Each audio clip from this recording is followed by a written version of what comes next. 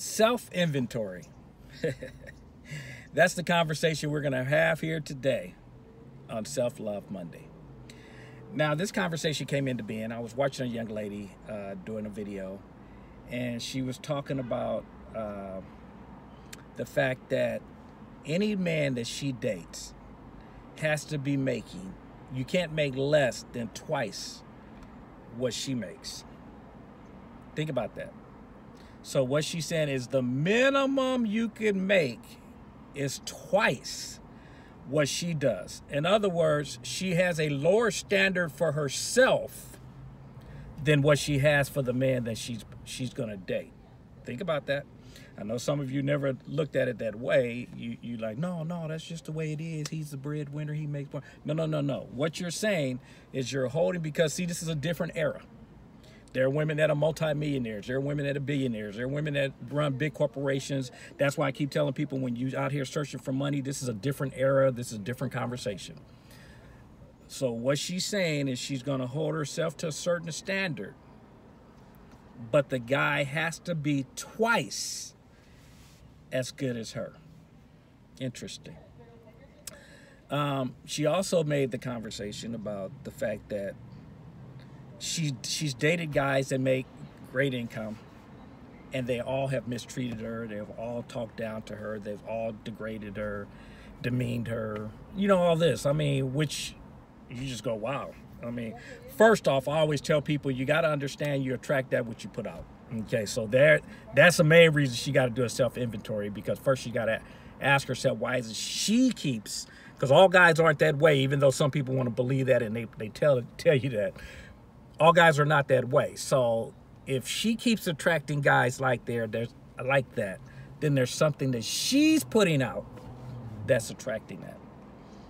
Along while she's having this conversation, she says, so the guys that make less than twice what she does, I will degrade, I will demean. She says that with, with, with, uh, I don't know how you can say it, but like she was proud of the fact that she puts people down.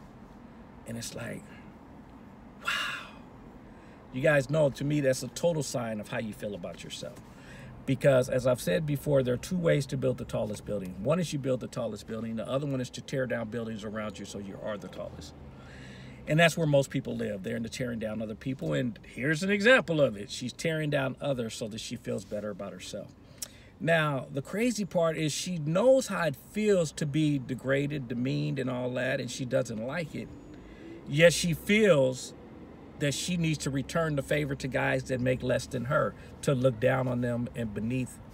And it's like, if you know how it feels, why would you turn around and do it? And secondly, where did you get the arrogance to believe that you're better than someone else? And you guys know I'm a strong believer in that. I have a challenge with arrogant people. There's a difference in confidence and arrogance. Confidence is believing in yourself and knowing that even if you don't know how, you'll get it done. You believe that you'll get it done. That's having confidence. We all need that in strong amounts of it. Arrogance is when you put yourself above others. No one's better than anyone else. No one. Um, and I always use the graveyard as the as the place that lets you know that's true. Because no matter what you gain here on the on the earth, you're going to the dirt just like everyone else. All the people you demeaned, all the people you thought you were better than, you're going to the exact same place when it's all said and done. You're leaving here just like they are. So it's the perfect place that lets you know you ain't better than nobody else. You've made different decisions. And because of those decisions, you have different results. Doesn't make you better. Just means you made maybe better decisions. we can look at it that way. You made better decisions, but it doesn't make you a better human being. So to ever look down and demean on someone else, again, tells me how you feel about yourself. And as you have a, a low self-esteem, which you need to build up. Because people that are very confident in themselves will uplift other people. Why? Because they're confident in who they are and where they're going. So everything's taken care of. So there's no reason for me to demean and put you down. If anything, I want to see what can I do to lift you up. Does that make sense? And so for those of you that are curious, that's why I keep calling myself an uplifting life partner because that's my objective is to uplift people. It's not to uh, put yourself above people or anything like that. But anyway, but along that lines, staying with this young lady, I was just amazed to hear that she she made the comment. She says, "I'm not saying it's right," because the guy that was with her said, "So do you think that's right?" She said, "I'm not saying it's right, but it's just the way life is." See, she's accepted it. That's the way her life is because of these decisions that she's making.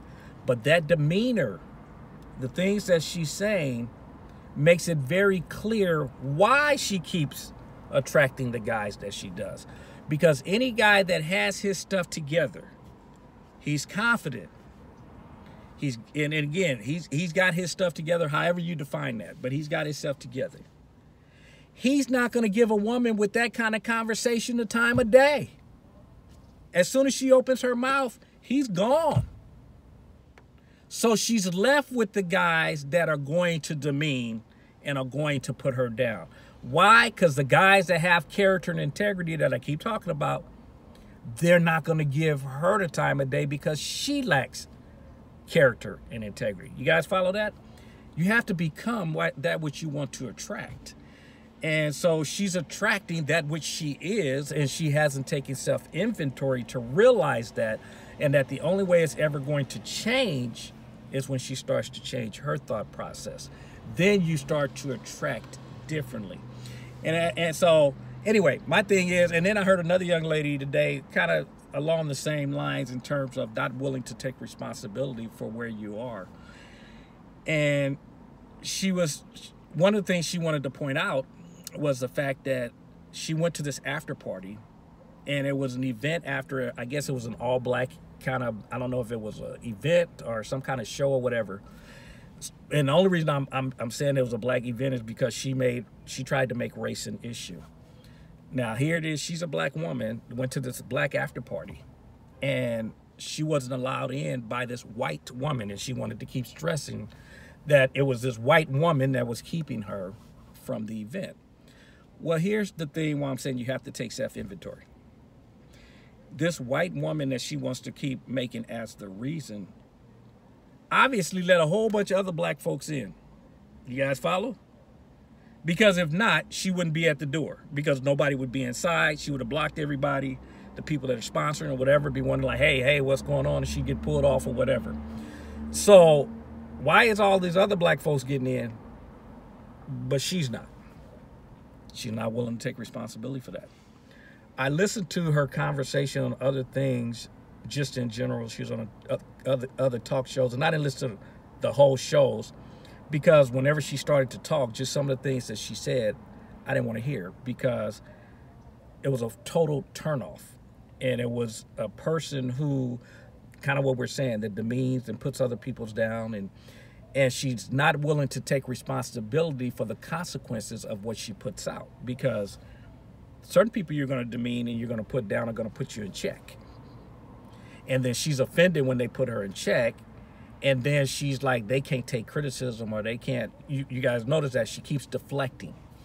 And that's what she was doing in this particular case. She was deflecting and trying to make it a race conversation instead of looking at it and saying, why is everybody else getting in? Is it me? Is there something about me? Is there something I'm doing, saying, or whatever? and based on again a couple of things that I've seen, I've never watched her all the way through because just a little bits that I've heard from her, I, I can't listen to her because I personally have a challenge with people that degrade, demean other people, and and people that aren't willing to take responsibility for their situations. Because if you're open, see that's a different conversation. A person that does that, because you guys know this is the business that I'm in, is helping folks. If you're a person that's open and you have that challenge, I can talk with you all day long and we can talk because you're open to hearing and you're looking to change where adjustments need to be made. But if you're a person who has dug your feet in the sand and this is who I am and I'm not willing to change, I'm not willing to take responsibility for my my my actions because I'm going to deflect you and blame you, which is what a lot of people call talk about narcissism, and I don't really get into those conversations because that that personality is what it is.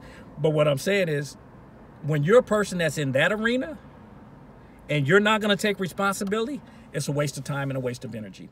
That's the same thing you guys have to understand, even in relationships. If you're with a person that is willing to accept and change they may not be everything you're looking for at the moment, but because they're open to change. I have a young man that I mentor and work with, and that's what's going on. Him and his girlfriend, they got a lot of things that they're working through. But the awesome part is they're young and they're both open to hearing each other out and making adjustments. And I said, I told him that in itself puts you in a whole different category in relationships because you guys are willing to have a conversation and go, I'm trying to understand you, why you think the way that you think, and then let's make adjustments so that this relationship works. So that's my point. When you have people that are willing to listen and hear, and they're not looking for people that agree with them, because those that know me, no, if you want someone to agree with you, I'm not the person to have a conversation with. Or let me know in the front, you just want somebody to agree with you, because then I ain't gonna say nothing. I'm just go, mm-hmm, uh-huh. Because I ain't gonna agree with you. I'm just not gonna say nothing because that's what you're looking for. If you want my opinion, be ready. It may be in agreement with you, and it may not. But I'm not going to agree with you to make you feel good. Does that make sense? There is a difference. And so I'm listening to this, and this is why I said take inventory. When things start to happen in your life, I'm not a person that believes if the majority says it's wrong, then it must be wrong. Or if the majority says it's right, it must be right. I'm a firm believer that majority are usually wrong. And the reason is because majority of people, and don't get offended when I say this, but majority of people are like sheep. Majority of people are followers we're born as individuals, and there's a saying, we're born as individuals and most die as copies. That's real. The school teaches, the school system teaches us how to be followers, how to work at a job, how to uh, uh, follow rules, how to do whatever you're told, not to question authority, not to question folks. I'm not saying you have to be a rebel, but you got to ask questions. I got to understand why I'm going in the direction that I'm going. I can't just go just because you told me to go. It's got to make sense. Help me understand why this is the direction that we're going. That way, if somebody asks me, I can tell them why we going in this direction. But if they ask me and I go, oh, everybody else is going that direction, folks, that's not a good answer. That used to drive my wife and uh, my sister crazy because we used to have a conversation and and I and they would tell me certain things and I go, but why do you believe that? And they go, well, my dad, my mom, my whoever. I, I'm not concerned with what they think. I'm asking you, why do you think that way? And they used to irritate them, and it's because that's my point. I don't care what the world said.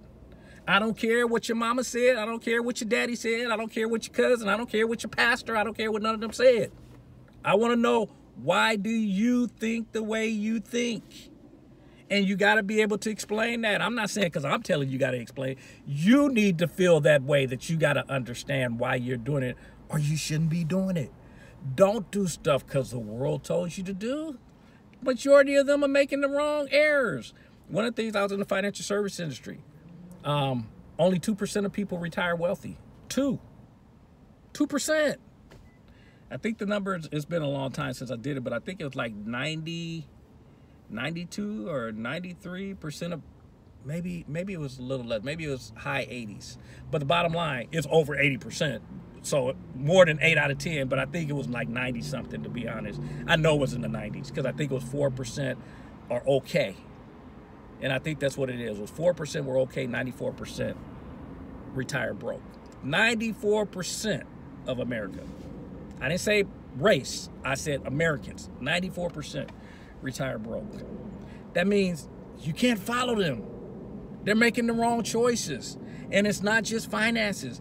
It's in most areas of their life. That's why relationships don't work. They don't know. And I'm not saying don't take advice from anybody because you wouldn't you wouldn't be listening to what I'm talking to. But I'm saying you weigh what people say. That's why I said don't be a person that says uh, don't care what other people think. That's why I don't teach that.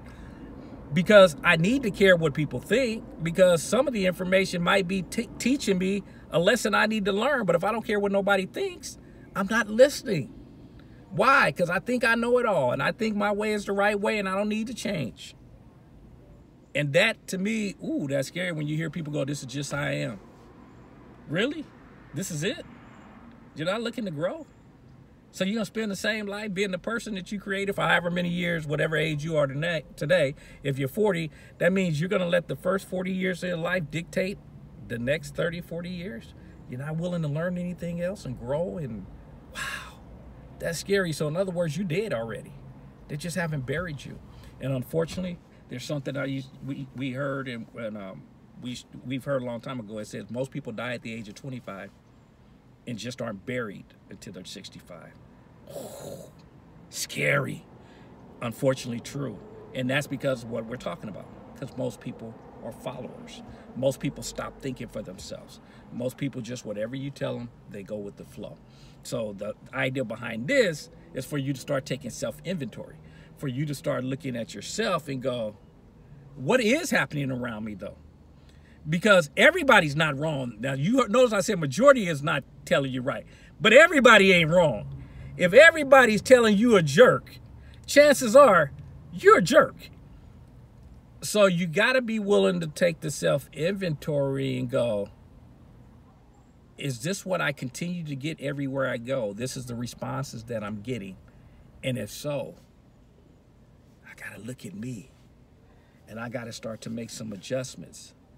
Maybe they're right.